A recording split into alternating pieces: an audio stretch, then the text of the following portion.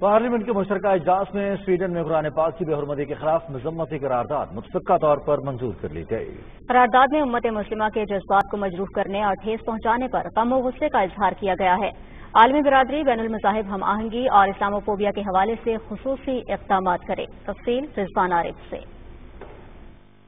Parliament کا مشترکہ اجلاس اسپیکر قومی اسمبلی راجہ پرویز اشرف کی صدارت میں ہوا۔ ایوان نے سویڈن میں قرآن پاک کی بے حرمتی سے متعلق مذمتی قرارداد متفقہ طور پر منظور کی۔ قرارداد پارلیمانی امور کے وزیر مرتضی جاوید عباسی نے پیش کی۔ قرارداد میں کہا گیا ہے کہ یہ ایوان سویڈن میں قرآن پاک کی بے حرمتی کی شدید الفاظ میں مذمت کرتا ہے۔ سویڈن کی حکومت مذمت کے ساتھ ساتھ مجرموں کو کیفر کردار تک پہنچانے میں اپنا کردار ادا کرے۔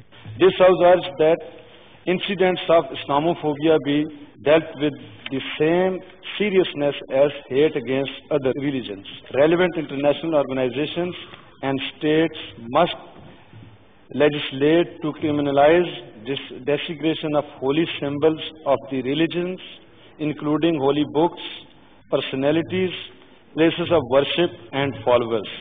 This House urges that appropriate steps be taken by the Swedish authorities against the perpetrators including but not limited to legal action. وفاقی وزیر احسن اقبال نے اظہار خیال کرتے ہوئے کہا کہ تمام تہذیبوں کو ایک دوسرے کا احترام کرنا چاہیے۔ آئے دن مغرب میں اسلام اور قرآن پاک کی توہین کی جاتی ہے۔ انہوں نے کہا کہ دنیا میں وہی قوم بالادست ہوتی ہے جس کے پاس علم اور فکر کی قیادت ہو۔ ہم سب ایک دوسرے کے ایمان کا ایک دوسرے کے مذاہب کا اور ایک دوسرے سے اختلاف کا احترام کریں۔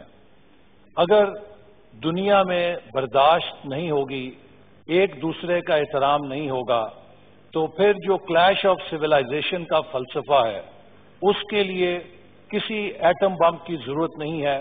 وفاقی وزیر مولانا اسد محمود نے کہا کہ سویڈن میں قرآن پاک کی بے حرمتی کی مذمت کرتے ہیں۔ ناموس رسالت اور مذہبی انتہا پسندی کے معاملات کو اقوام متحدہ میں اٹھایا جائے۔ قومی اسمبلی میں قائد حزب اختلاف راجہ ریاض نے اظہار خیال کرتے ہوئے کہا کہ سویڈن کی حکومت پوری امت مسلمہ سے معافی مانگے۔ قرآن پاک کی تعلیمات پر عمل پیرا ہو کر ہم مذہب اور اپنے تحفظ کو یقینی بنا سکتے ہیں۔ سینٹ میں قائد حزب اختلاف ڈاکٹر شہزاد وسیم نے کہا کہ سویڈن میں ہونے والے واقعے سے پوری دنیا کے مسلمانوں کو تکلیف پہنچی ہے۔ ایسے اقدام دنیا میں نفرت پھیلانے کا باعث بن رہے ہیں۔ سابق وزیر اعظم یوسف رضا گیلانی نے کہا کہ اسلام امن اور محبت کا دین ہے۔ ہمیں عدم برداشت اور نفرت کے خلاف کھڑا ہونے کی ضرورت ہے۔ ارکان نے کہا کہ ناموس رسالت اور قرآن پاک کی بے حرمتی ناقابل برداشت ہیں۔ ہمیں پوری دنیا کو یہ پیغام دینا ہوگا کہ ایسے واقعات سے پوری دنیا کے مسلمانوں کی روح زخمی ہوتی ہے۔ مجلس شورا پارلیمنٹ کا مشترکہ اجلاس پچیس جولائی شام پانچ بجے تک ملتوی کر دیا گیا۔ Rizwan Arif, Pakistan television news, Islamabad.